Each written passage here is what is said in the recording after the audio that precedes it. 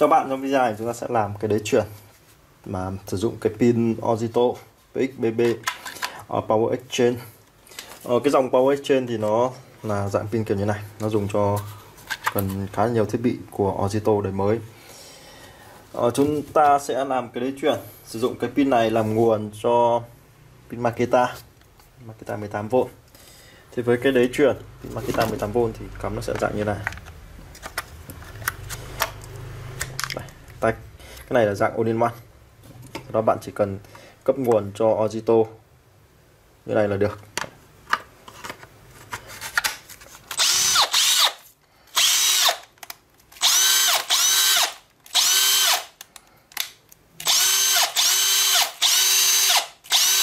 Đây là cái phiên bản cho Ozito với cả máy Makita. All in one. Còn đối với cái đế chuyển Ozito nhưng mà sang cái máy dùng Ryobi OnePlus tức là dùng cái hệ pin uh, One 18V thì cái đế chuyển nó sẽ khác một chút.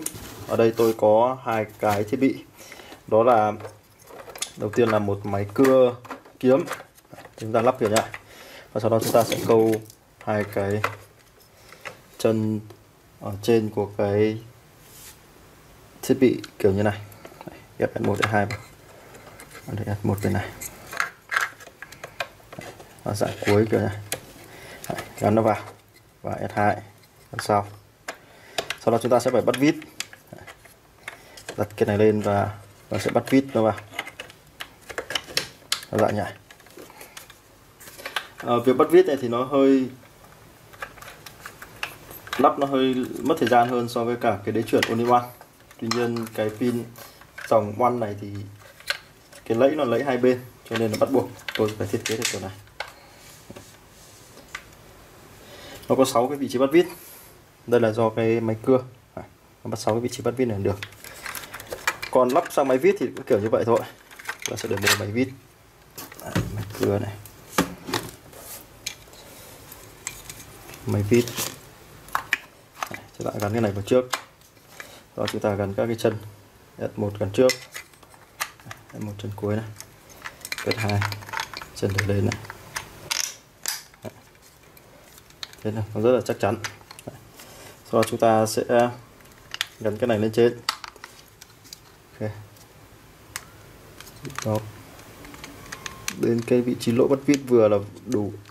Ok. À, vị trí bắt vít này thôi. thêm tí Đấy thì nó sẽ là dạng như này.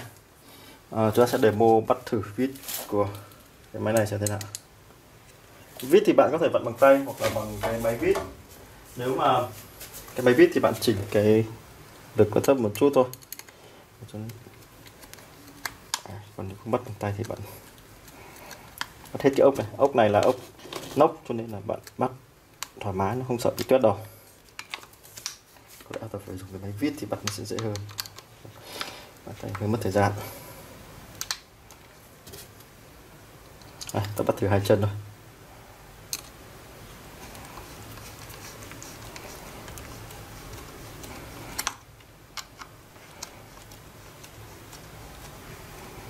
à, thế.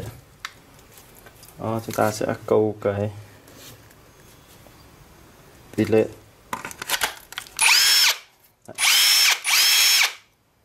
thì cái pin Ozito thì nó dạng à cái pin One thì nó lại dạng hơi dài cho nên là bạn thấy lắp ở đây nó hơi thừa đây có một số vị trí chưa bắt vít nữa thì bạn thấy nó hơi kềnh chúng ta chỉ bắt hai vị trí này. thế đây là cái phương án của tôi. Dần thì tôi sẽ làm thêm nốt cho các cái máy như là để watt hoặc Milwaukee sử dụng cái pin uh, Ozito này. Hiện tại thì tôi mới làm tạm thời làm hai cái loại này đã. Magita và Ruby One. ơn các bạn đã theo dõi